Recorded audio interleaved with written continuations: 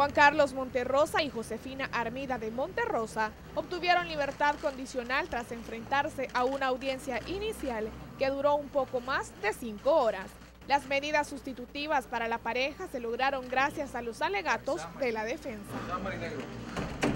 Bueno, eh, presentar eh, los pasaportes, eh, también que estarse presentando periódicamente al, al juzgado, no cambiar de domicilio. El abogado de los esposos Monterrosa aseguró sentirse satisfecho con la resolución y desvirtuó la acusación de la Fiscalía sobre la existencia de cuentas bancarias con fuertes sumas de dinero. Y eso no aparece en las diligencias iniciales de investigación y le adelanto algo, no van a aparecer porque no existen tales transferencias.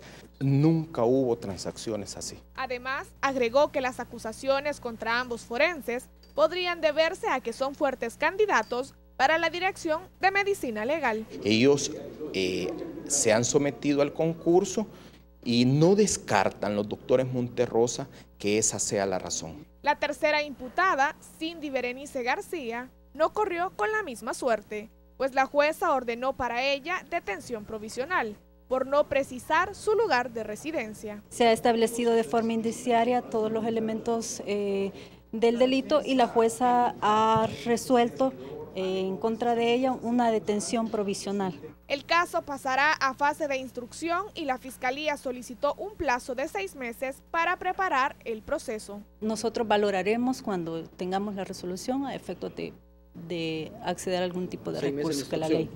Seis meses de instrucción. Por su parte, el defensor de los forenses aseguró que continuará trabajando por fortalecer sus argumentos y conseguir las pruebas que demuestren la inocencia de sus clientes. Para Teleprensa, Canal 33, Jacqueline Martínez.